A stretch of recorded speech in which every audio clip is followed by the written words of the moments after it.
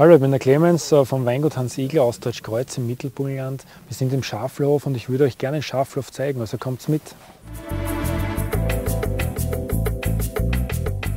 Der Schaflerhof, äh, das ist als Wirtschaftsgut erbaut geworden vom Schloss Deutschkreuz, also um 1700. Und äh, das war eben für die Schafzucht, deswegen auch der Name Schaflerhof. Wir haben es dann 2004 übernommen und haben bis 2009 einen Barrikeller daraus gebaut. Und im Weingut Hans ist es sehr wichtig, dass jeder Rotwein im Holzfass drinnen liegt.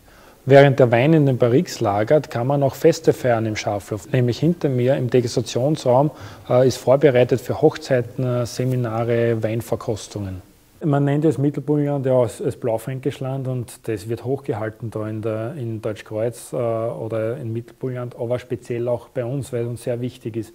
Ja, weil der Opa, der, mein Opa, der Hans Igler, äh, war ja einer der Rotweinpioniere in Österreich und hat einfach das Potenzial vom Rotwein in Deutschkreuz erkannt. Der Opa, eben, wenn ich da Anekdote sagen darf, der hat immer gesagt, für ihn ist eine gute Flasche Wein, wenn man noch eine, eine zweite haben will. Also nicht jetzt nicht unbedingt die Menge, aber dass man nicht jetzt noch äh, ein Glasl erschlagen wird, sondern dass man einfach, äh, dass der so gut schmeckt, dass man da einfach eigentlich mehr haben will. Und das ist für uns ein guter Flaschenwein.